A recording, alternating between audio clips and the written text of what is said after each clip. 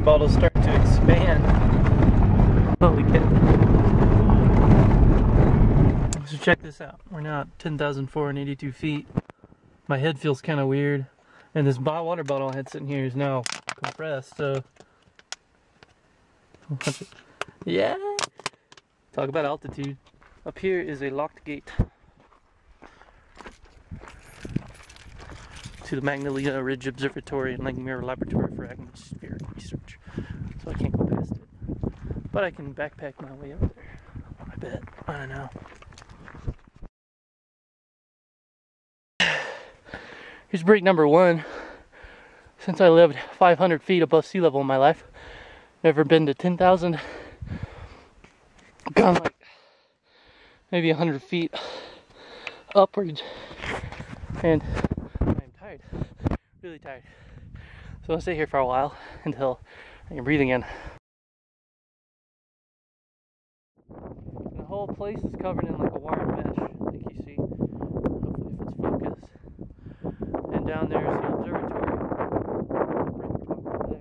If you look to our west, we'll see the very large array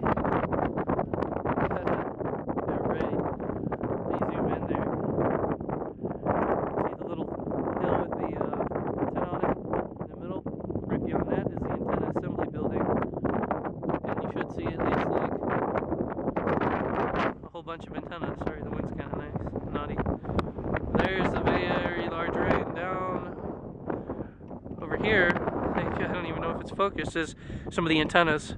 They're moving into uh, D array right now. A couple of them are on the east side. On this side is an A array, which is the farthest. D array is the closest spaced. They're all going to be squished together in about six meter, 600 meter square or circle.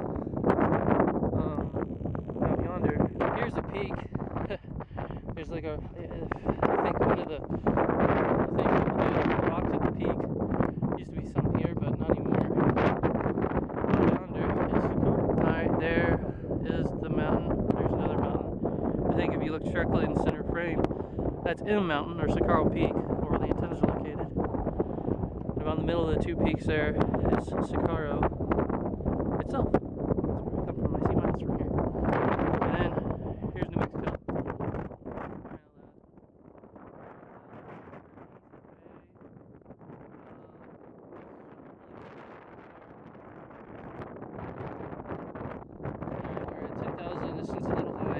peak is only well, peak is only about 10,700 something feet, or 10,812 apparently.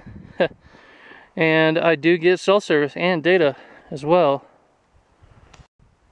Here's the Wi-Fi analyzer app running. I see Soka PRT and Timber and a couple other ones, and I'm betting those are from the the observatory over there. Anyway, um, let's set up the antenna, see if we can hit Albuquerque and whatnot. Let's uh, take a second to explain what uh, is going on. First of all, with every um, radio station, the antenna is the most important part. I mean, it can be debated, but anyway, this is the uh, Arrow satellite antenna. It's uh, 442 meters across. It's not cross polarized or circularly polarized. It's just on the same beam, and so the feeds are you have one feed there, one feed here, and then it goes through 50 feet of coax. Kind of a bit much, but bet the attenuation is quite high, but I didn't have any more connectors, so uh, I'll do with it. And that goes into the FT-897 right here, and that is being powered by this EverStart lead acid battery that I got on this stupid hill mountain. Um, I guess this is the hill of the mountain. I mean, that's, that's the whole thing. Never mind. So let's try to make some contact with everybody on. I brought my camera, so I should be able to atmosphere up here. Albuquerque's that way, so that's where I should point Spin through the dial. I guarantee the contest. Well, no, it should be over like 8 o'clock, I think. It started at noon, Saturday, ends at 8 o'clock. Well, it always, always used to end at 9 o'clock in Missouri, so it's like at 8 o'clock here.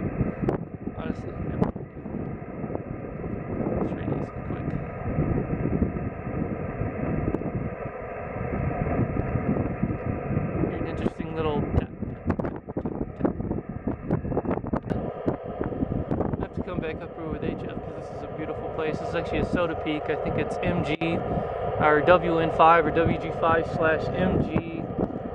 What is it? 001 maybe or 003 002 it's got a 00 in it so alright how about we scan through this band well that's weird I discovered where the QRM is from check it out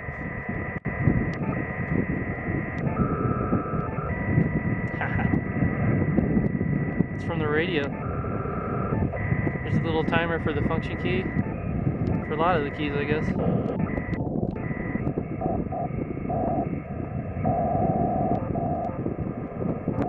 Yeah, it goes off when you hit like any of these keys. Oh, now what I do. Okay. Is that fixable? I found something! It's in Japanese. oh no, it's uh, Echolink or something My phone just died, so if I get in trouble, ham radio it'll be. I'm, in, I'm enjoying this. It's an IRLP node that's connecting to Japan. Sorry, I'm so shaky. It's kind of cold.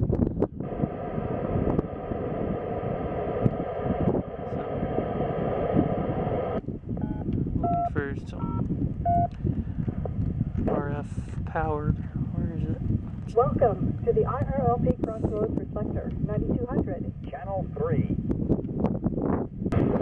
Well, ham radio's a bust. I haven't really looked honestly, but here is uh, an ATAS, or a, whatever they call it, the automated weather system. Here's another A automated weather observation.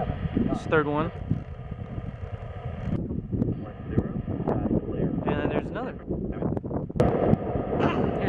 And APRS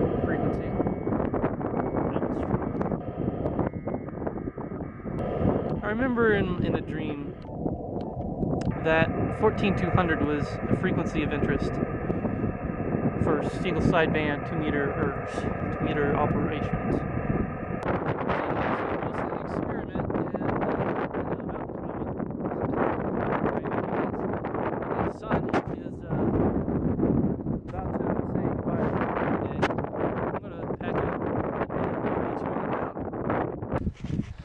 If one thing's true, I'll bet you the way down is a lot easier than the way up. Whew, so I made it finally over here. This is where I parked. There's my car, and over there is a gate.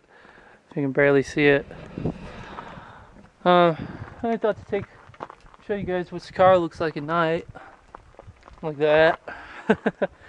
if I uh, introduce my uh, my telephoto lens, which is really just a pair of 7 by 50 binoculars with a 7.1 degree field of view. I can't hardly hold it still. Maybe I'll help with it. It's on a tripod. There you go. How about that? There we are, refocus. This is 6.1 X. Add the telephoto lens. Beautiful. Think that's too much. And